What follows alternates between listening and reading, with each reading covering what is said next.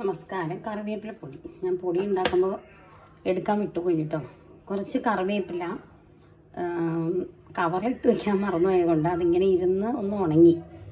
അപ്പോൾ അതൊരു കപ്പ് എന്ന് വിചാരിച്ചോളൂ. അതിന് ഒരു കാൽ കപ്പ് ഡ്രൈ ആയിട്ട് കടലപ്പരിപ്പ് അതുപോലെ ഒരു കാൽ കപ്പ് കടലപ്പരിപ്പ് തന്നെ വറുക്കുക. ബ്രൗൺ നിറത്ത് ഗോൾഡൻ നിറത്തിൽ കാൽ കപ്പ് ഉഴുന്ന് പരിപ്പ് പിന്നെ ഒരു കഷ്ണം കായം.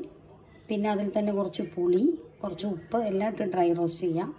ഒരു നാല് മുളകാണ് ഞാൻ എടുത്തിരിക്കുന്നത് ചുവന്ന മുളക്. നിങ്ങളുടെ എരിവ് കൂടുതലാണെങ്കിൽ എരിവ് കൂടുതൽ എടുത്തോളൂ. എന്നിട്ട് ആദ്യം ഇത് ഇത് നന്നായിട്ട് ഡ്രൈ ആണല്ലോ. ഒന്നുകൂടി നമ്മൾ ഡ്രൈ ആക്കിയിട്ടുണ്ട് കറിവേപ്പില. ഉണങ്ങിയ കറിവേപ്പില പിന്നെ ഇട്ട് വാട്ടിയിട്ടുണ്ട് വെള്ളാംശം പോകാൻ അത് ആദ്യം ഇട്ട് മിക്സിയിൽ തിരിക്കുക.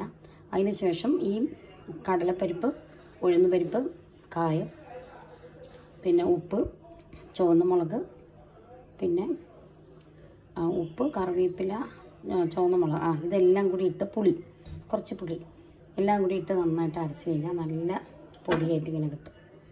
അപ്പോൾ ഇത് നമുക്ക് ദോശയുടെ കൂടെ ചോറിന്റെ കൂടെ ഇത്തിരി നെയ്യ് ഒഴിച്ച് കഴിക്കാം. വളരെ ഹെൽത്തിയാണ് കറിവേപ്പിലയാണല്ലോ. കറിവേപ്പില പൊടി.